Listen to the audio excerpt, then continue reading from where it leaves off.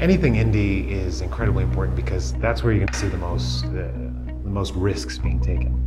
Those are the stories that we all need to hear. 20 years ago, people couldn't create their own work the way that they could now. And I think it's important when you don't have the opportunity to work that you have the ability to create an opportunity for yourself.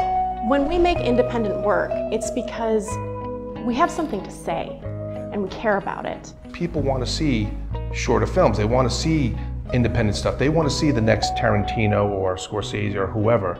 That is where I think the best storytelling happens. Um, not to say that there aren't being incredible films uh, coming out of the more established studios, but I think it's becoming rarer. And really, when you think about the films that you know have shaped our popular culture, our psyche, um, and launched these incredible careers, they were no budget indie films. We wouldn't have theater without, you know, off-Broadway, without off-off-Broadway. You know, it all has to start somewhere. And I also, I feel like off-Broadway is like the theater for New Yorkers.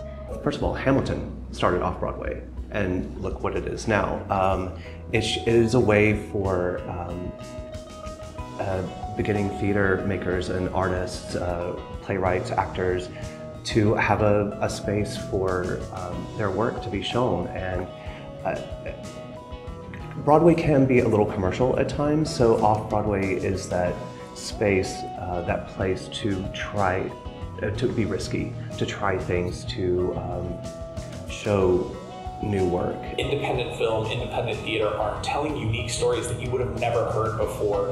Um, you know, even from someone next door to you may have this completely different life, and if they put that story on stage and they put that on film, you're seeing insight into somebody that you would never have gained any other way, and I think that's incredibly important. The true changers of the artist world are independent voices, and they are where the new opinions and new points of view of art and change happen. Everyone knows all about Hollywood, and everyone knows all about Netflix. But what they don't know is that most of those journeys begin with independent film and theater.